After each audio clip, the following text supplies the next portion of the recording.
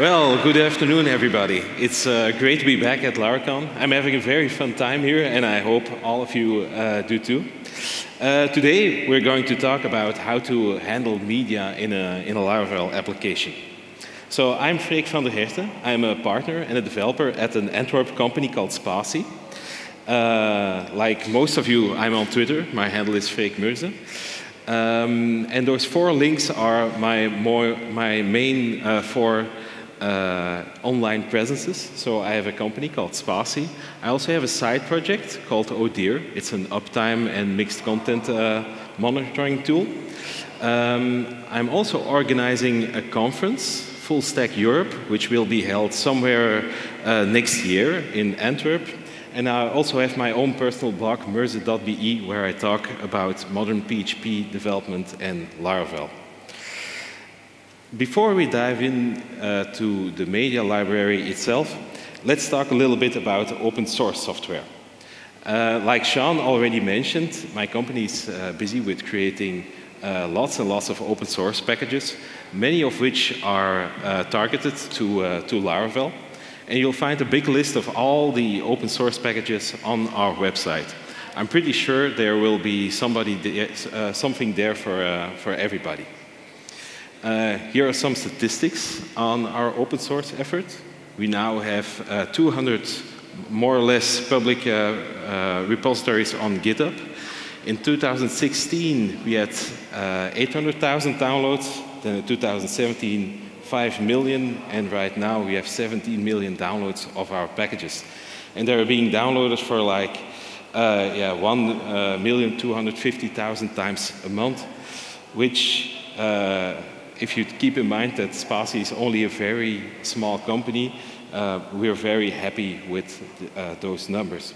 Uh, for the people that are interested in why did we start with this and how we are doing this at our company, I wrote a, a blog article about that. That's uh, the latest link. Now, those packages are not entirely free. They have a special license called Postcardware, which means that if um, one of our packages gets in your production environment, you are required to send us a postcard. And this is our address. Currently missing more than 16 million postcards. If you send us a postcard, we'll publish it uh, on our website. So here you can be in, a, in the Hall of Fame with the uh, other Spatie packages licensees. So, with that out of the way, let's talk about media what is the problem that we are going to address here?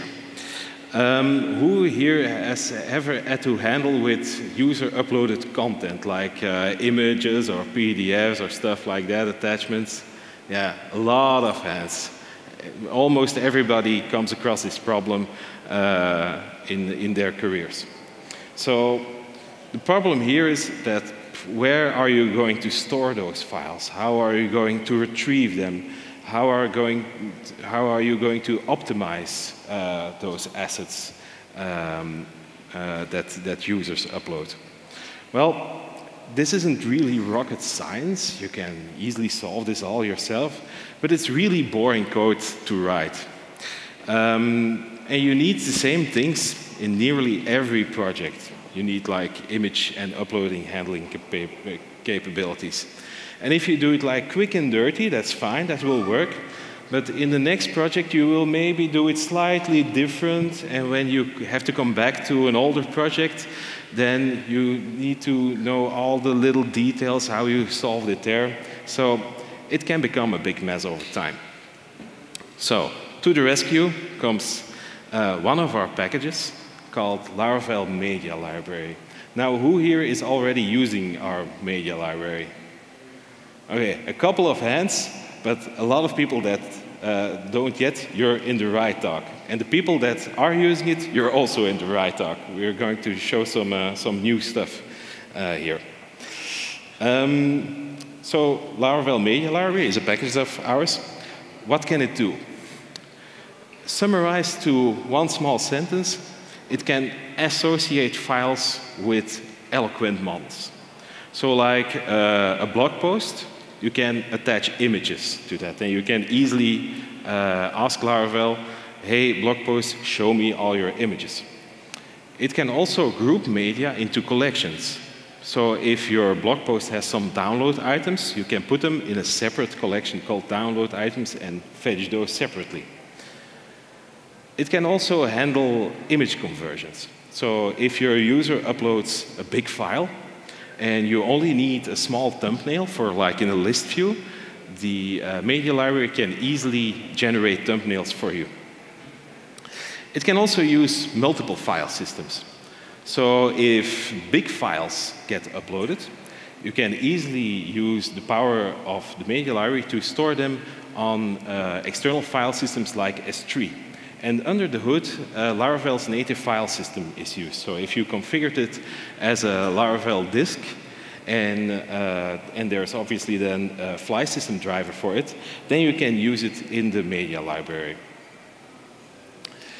But it can do lots of interesting things more. It can also optimize uh, converted images. So um, when uh, images get uploaded, the media library will uh, apply a tiny bit of compression, and it will also remove all the metadata from it to make it uh, just a tiny bit smaller. It can also uh, handle uh, various file types like, uh, like PDFs. It can generate thumbnails for, for those. But there are a lot of other file types as well, like, uh, for instance, Office documents.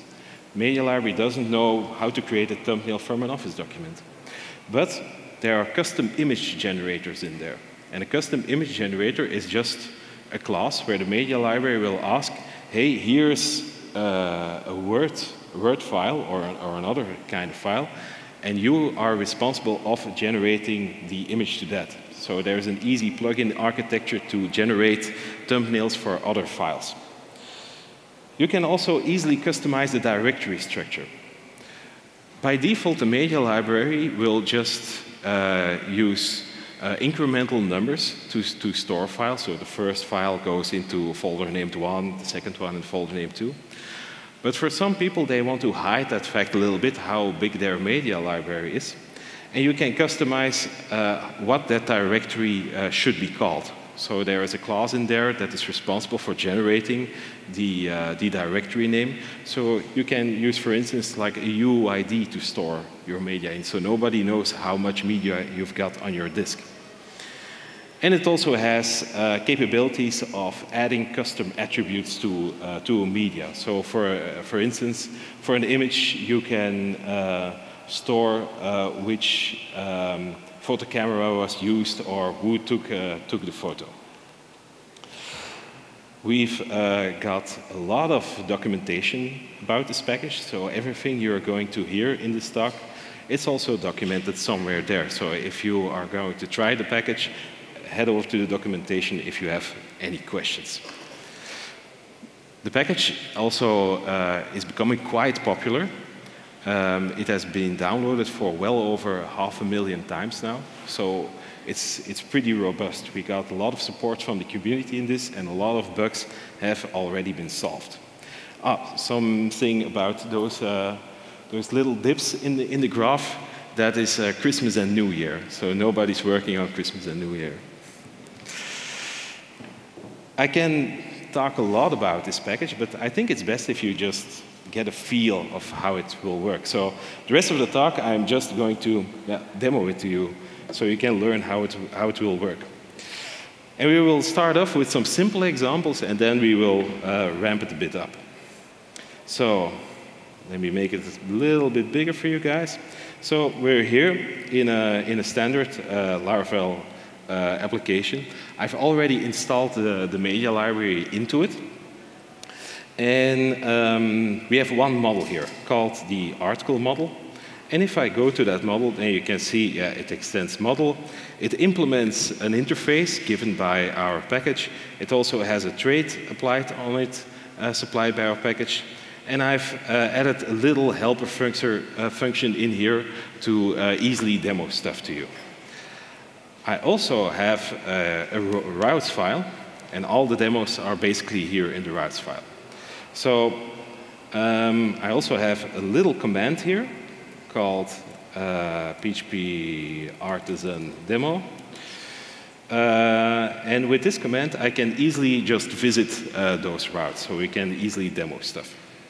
So the first uh, demo that we are going to do is how do you add media to the media library? Well, it's very simple. We are going to create a, a new model here. And if you want to attach media to a model, you simply call add media. You give it to a path to a media, and you call to media collection just to add it. So let's try that now um, add media to, to library. We visited that route.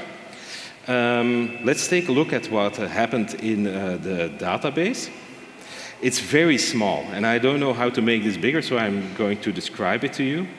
So here I am in the articles mo model. This is just the article that was just created. It only has an ID. And if I go to media here, here uh, we can see that one media was created. The model type is, uh, is an article, and um, we can see that it's stored on a disk, and there are some properties here as well.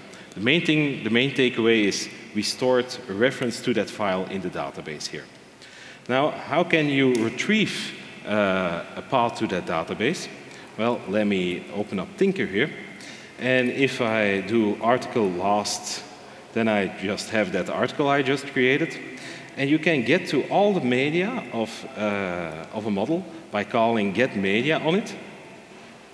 And now you have a collection of media items. You can see here that the model type is article, the collection name is default, here's the name of, of the file. So that's how you get an instance to it. Because you often uh, want to have the first media of it, we have a helper method for that called get first media. And you can see here that we now just have uh, a media object of it. And on a media object, you can get a URL to that one. And here you can see the URL to, uh, to the file. If you want to have the full path, then you can uh, get get path. Then you have the full path to, uh, to that image, should you need it. And there are also some shortcuts for that. If you uh, want to get the URL to the first media, you can just do get first media URL and you get the same thing.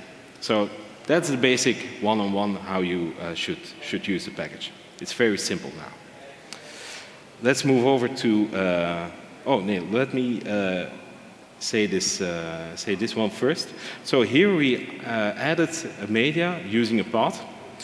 Um, but in real life, users will upload stuff and there are lots of helpers uh, how you can add media. And one of the most common ones is add media from request. So if there's a form coming in, you can just do add media from request, give it the, the field uh, name here, and, uh, and it will be added to the media library. So no need to store it somewhere else on disk. We can get it directly from the request.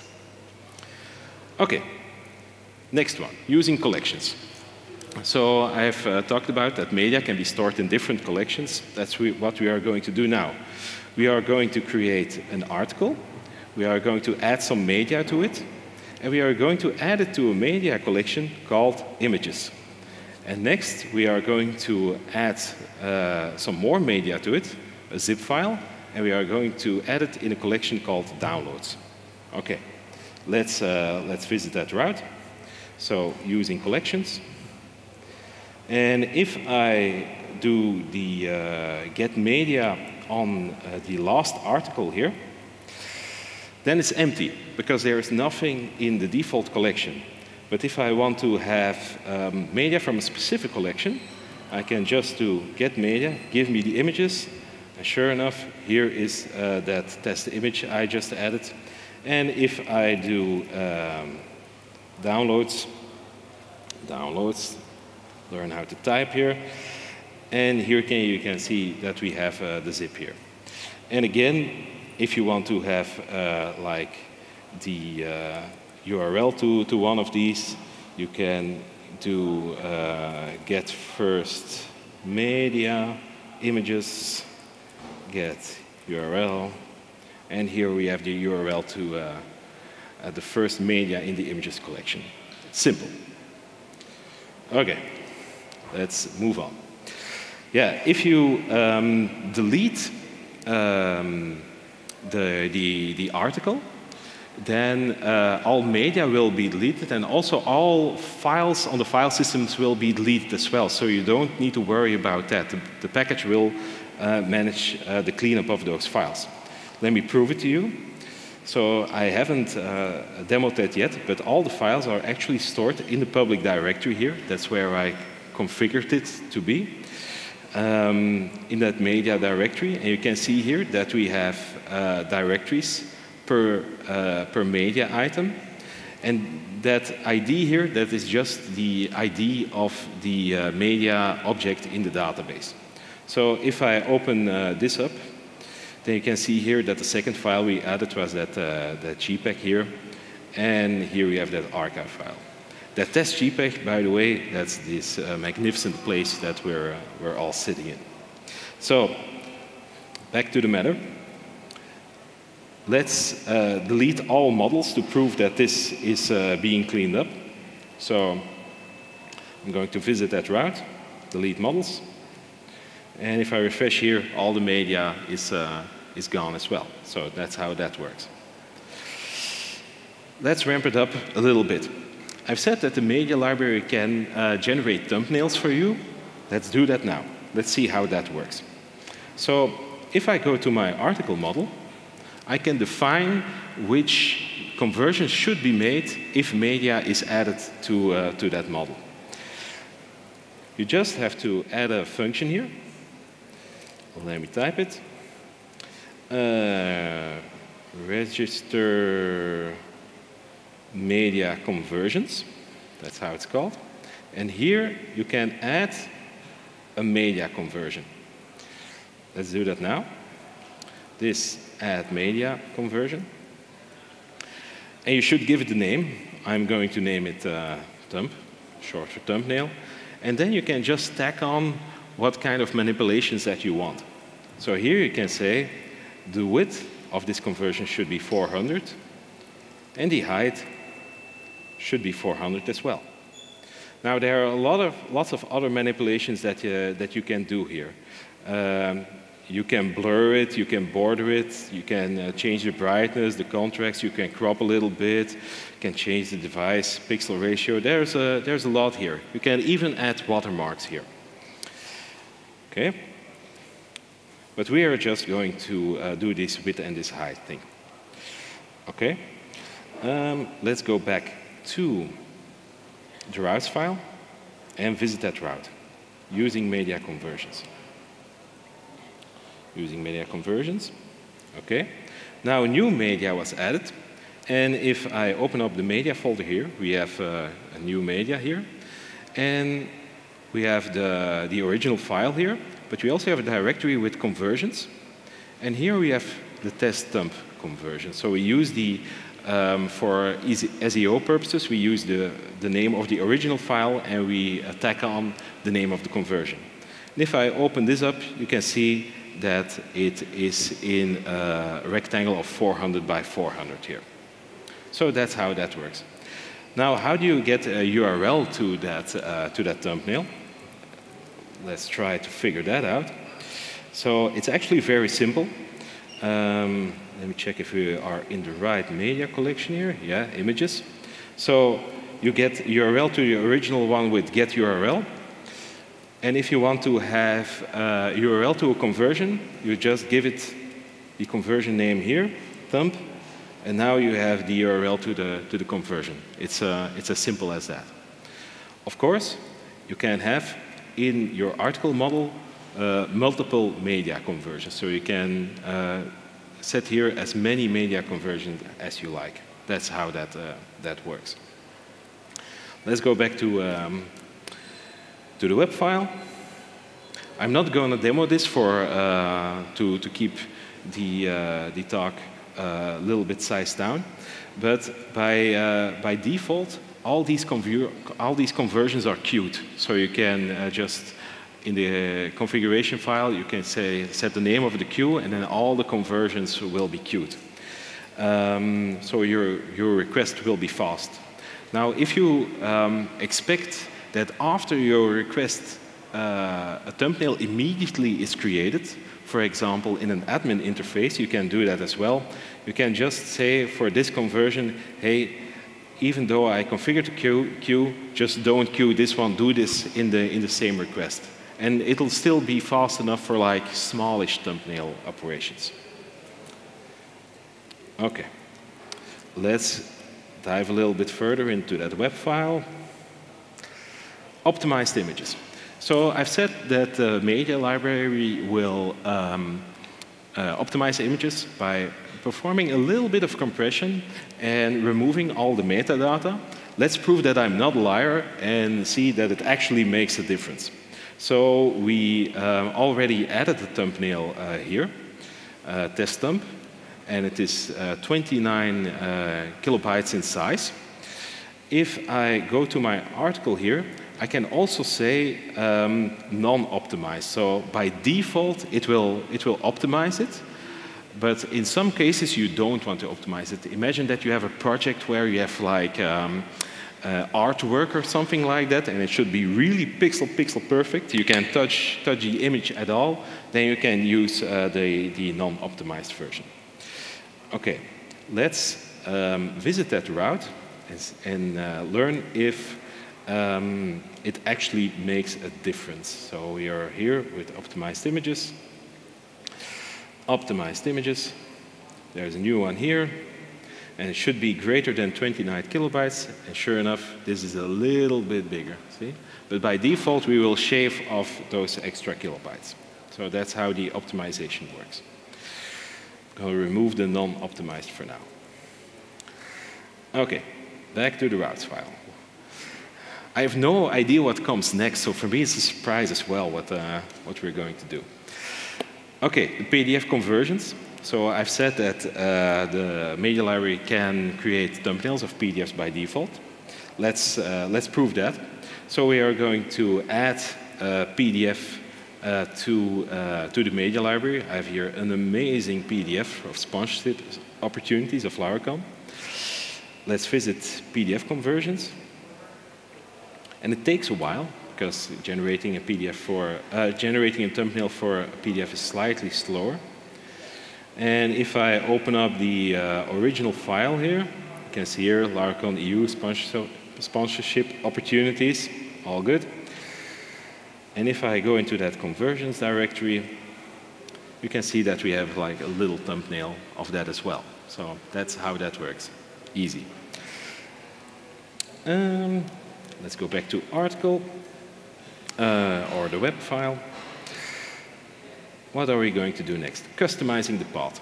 So I've said that um, by default, the media library just uses the ID of a media object as a, uh, as a name of, for this directory, but you can easily customize that if you don't want that information exposed.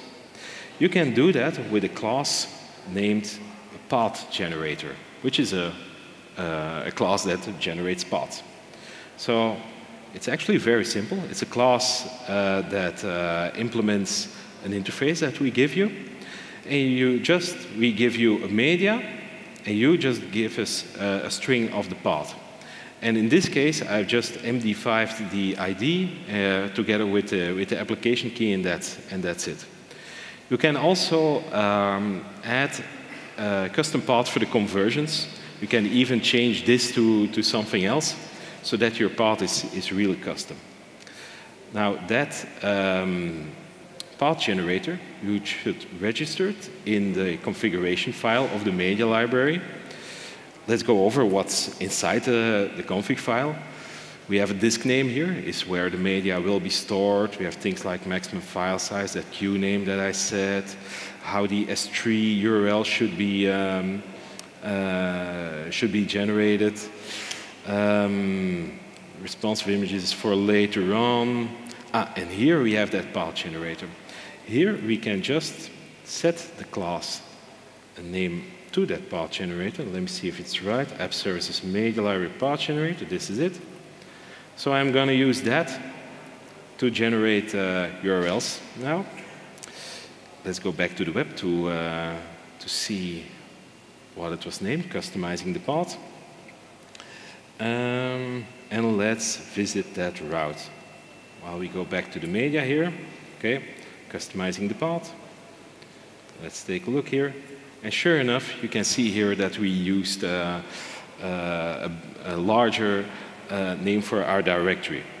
And if we go to uh, article Tinker here and get the last URL to the original file, and we're not using a collection name here,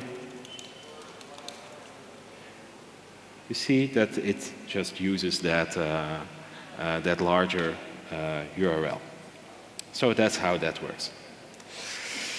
Let's dive a little bit deeper. Um, let's take a look at how we can use uh, another file system. It's actually very easy. You uh, just have to uh, add the name of the disk you configured in the file systems configuration as a second parameter to, uh, to the two media collection method. So here we are going to add media to the method collection in a collection named images on the disk S3. Let's see if that works and that the Wi-Fi gods are happy. I have Wi-Fi here. So um, I also have open, if I'm prepared this right, a transmit window. So this is what is stored. Oh, I'm in the wrong directory here. Let's refresh it. So this is what is in my S3 bucket at the moment. It's, it's nothing. If I uh, visit routes using S3, it takes a little while. The Wi-Fi gods are happy. And if I refresh here, you can see here that we have um, the image uploaded and we even have that custom uh, path going on here. And if I visit uh, that route, no, if I uh, go to my Tinker session and generate a URL to that, images, uh, app article, oh no, I did something wrong here. Let's try to using some brain power here. What is wrong? Hmm. Normally, I would expect it to just give it a URL. Ah, I know it. I forgot to uh, use the collection name here. I've put it here in URL, but it is not a media conversion, but it's an image collection, so it should go here. And yeah, you can't read it because it's in, it's in blue, but let's do it like this. You can see here that we have a URL to, uh, to S3.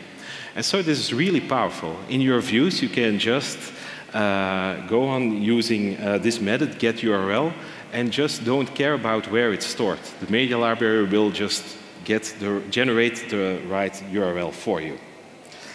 Okay, let's do something else. Um, defining media collections. Defining media collections is a new concept that was added to, um, to the latest version of the media library. Um, you've seen that media collections right now are just the name, images, downloads. But you can easily add a little bit of behavior to a media collection as well. Let's do that now. So I'm going to the article model here back again, and I'm going to call a function here, call register uh, media collections. And here I can add a media collection. Add media collection. I'm going to name it big files because I'm going to put big files in here. And here I can say for this collection, everything that goes into this collection use the disk S3. So if we create another article, we are going to add some media into it, and we are going to add it to the media library in big files. Even though I don't specify it S3 here, it will be stored in S3. Let's try it now. So defining media collections, that's it. And if everything is right, then we should have a second, uh, second file in here, and it just uh, popped up. So with that media collection thing, you can do a few interesting thing more. Uh, you can also use it for a single file collection. And what is a single file collection? imagine that for your users, you upload avatars. They probably want to have like just their latest avatar. If they upload a new image, the old one can be deleted. And this is what that does.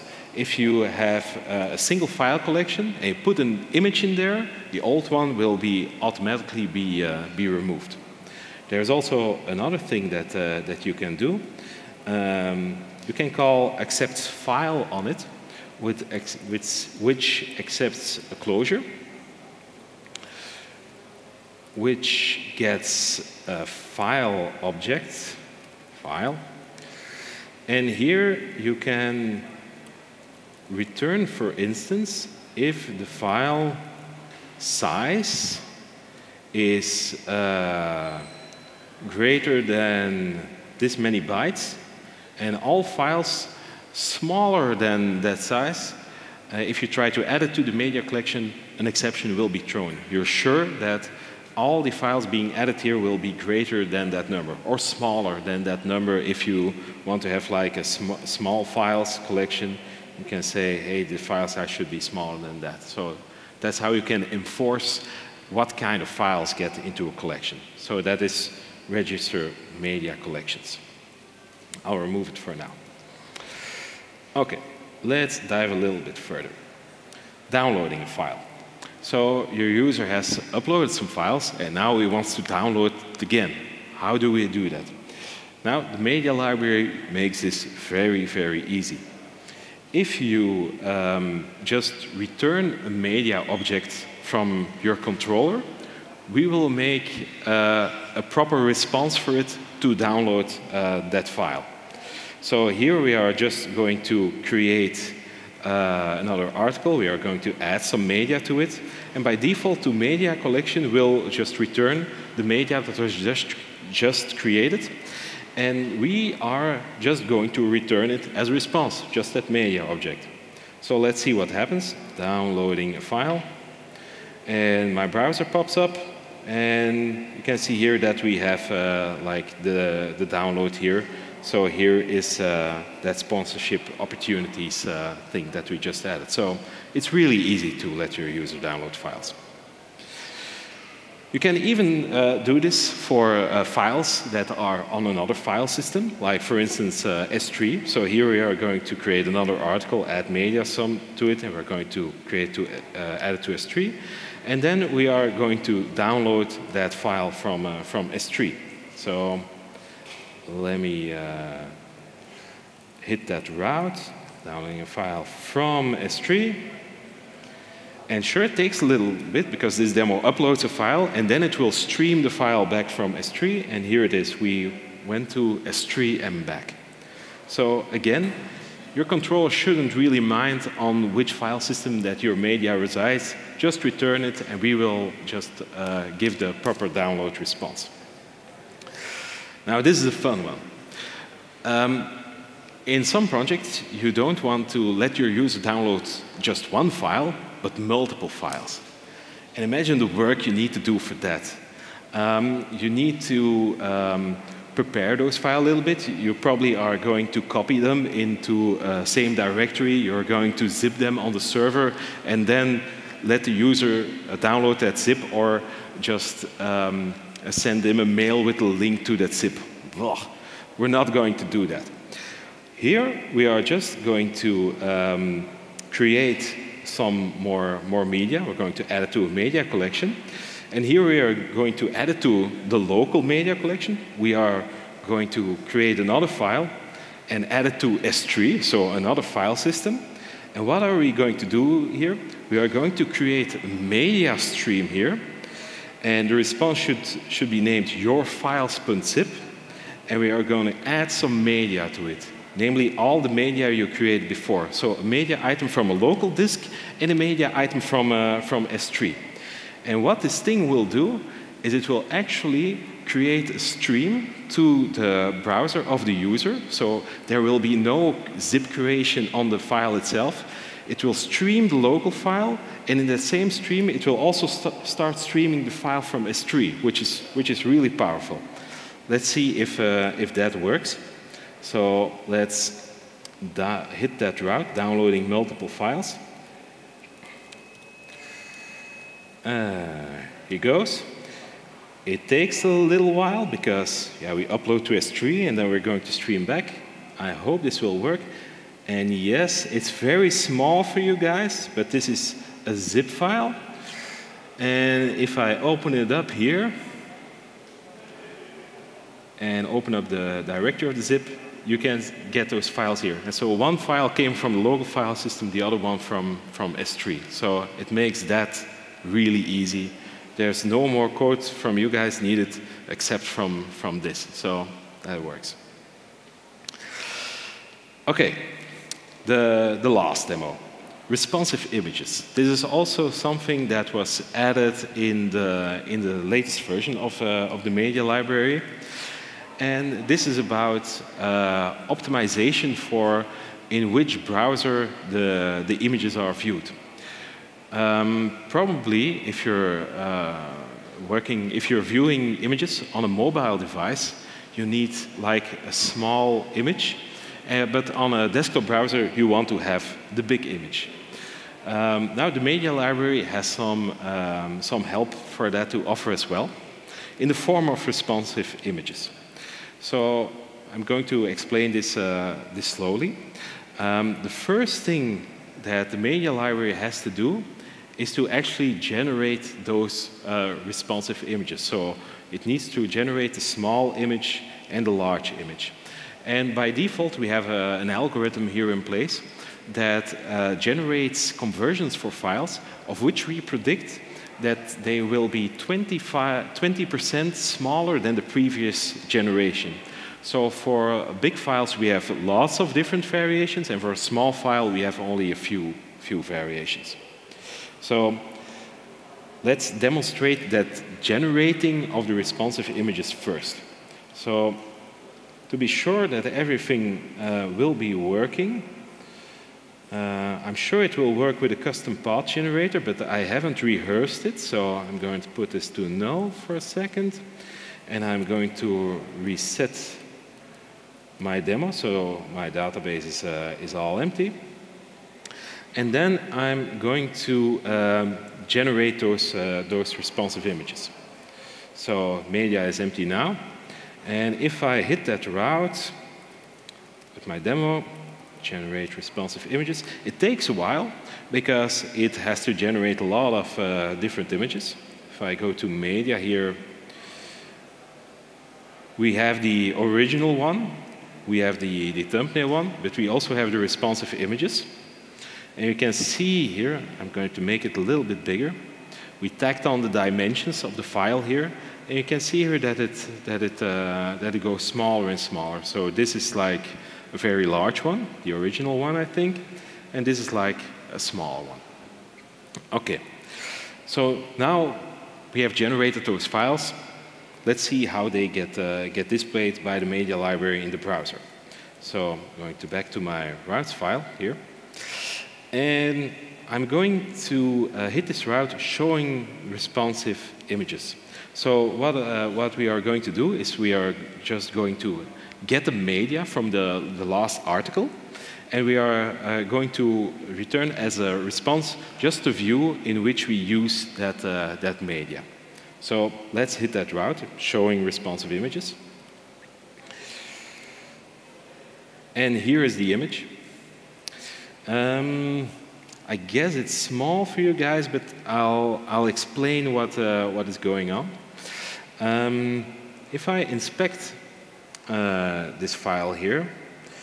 The first thing that I'm going to demo is I'm going to make my network much, much slower. So here I'm going to um, pick uh, fast 3G and I'm going to re reload the image and pay attention what, uh, what happens. So we first see a blurred version immediately and then it gets replaced by the, uh, the original file when it has been downloaded. You see this effect on Medium blogs as well. Now, how do we manage this? Um, let's take a look at the HTML here, and I hope I can make it a little bit bigger. And there's yeah, just a lot of stuff going on here. We have uh, one image here that we display, and it uses a source set. Now, a source set is an attribute you might not be familiar with, but it has been along, it has been uh, along with us for, uh, for a very long time now. It's part of, uh, of the HTML standard. And where with a normal source attribute, you can just use uh, one image. With a source set attribute, you can actually um, specify multiple images. And how it works is that you first specify the URL to the image, and then you specify um, what the width of the client should be to, uh, the minimum width should be to display this image. So this image is going to be used if your screen is, is, um, is larger than that. So these are all these um, responsive images that we just generated. And at the end, as a bonus, what the media library does, it will create an, an SVG of your image which we will inline in the HTML. So this uh, SVG, that's that blurred image that you see. And it's immediately available when your page loads, so we can display that immediately. And the browser, it will replace it by one of those images when that image has been loaded. So you immediately have that blur thing, your content will not uh, try, to, try to resize, and it will just feel uh, feel right. Now, for um, let's demonstrate that the browser will actually use those smaller images as well. So I'm going to make my browser window even smaller so you can see, see even less. Let me explain what is going on. I'm going to empty the cache here and reload. And now, um, let's inspect this. You can't see this, but uh, if you watch the video afterwards and you peek a little bit, you can see that the browser now uses the smallest image, image generation. And something that you can probably see is this is my network inspector here. If I make my browser a little bit more, more wide, you will see that it will actually try to download a larger image from that source set we just, uh, we just added. So let's make it a little bit wider. And you can see there are more requests here and I, I dragged fast. So when, the, when it uh, started downloading an image and the uh, window became even bigger, it canceled that request and uh, went for the, for the right image. So now the bigger image is, is being displayed. So that's how the, the responsive images work. Now, um, the only thing that, that you had to do up until now was if you want to generate responsive images, you had to tack on uh, with responsive images here. But there is a little bit of more work to be done in this view. So we've seen uh, all this HTML being generated here. Let's see what you need to do to make this, uh, this actually happen. I'm going to uh, go to that uh, view file. So resources, views, and this is that view. Let's take a look what you need to do. This is all. You just need to put a media object between curly brackets so that we can output it, and we will generate all the necessary HTML for all the magic you just saw to happen. So it's really easy. Oh, I nuked it. You just have to uh, output the, the media here, and you have to uh, tag on responsive images, and you have the full power of responsive images here. And if you want, want to do this manually, it's just a lot of work. And the media library just solves this, this all for you. So that's how the media library works. Um, let's get back to the presentation here. So the other session is already done, so we are going to start wrapping up too. Uh, here are a few resources that you can, uh, can check out about uh, the media library. So the third one, that is uh, also a video recording where I explain the main concepts uh, again if something wasn't clear in this talk. And the last one is the URL on, uh, on GitHub, so you can take a look at, at the secret sauce behind this package. Um, we have other plans with this package we are going to release some Vue components to make it very easy to, um, to upload stuff. We are thinking about the Nova tool uh, now as well to add a full-blown media library that is powered by, uh, by this package. Um, and we think of uh, releasing the Vue components somewhere this, this year already. The Nova tool can't say anything about it because it's still in, its, uh, in the early stages of, uh, of planning. Now, I've been babbling here the whole time, so you might think, hey, this Freek guy he, he, codes a lot, he does a lot, but this was actually a package uh, that was uh, the work of our entire team. So I couldn't really done it uh, with, uh, without the help of, uh, of these guys. If you want to meet them, they're at uh, the booth of my company behind this stage. So that's all I had to say. I hope you enjoyed the talk and enjoy the rest of the conference. Thank you.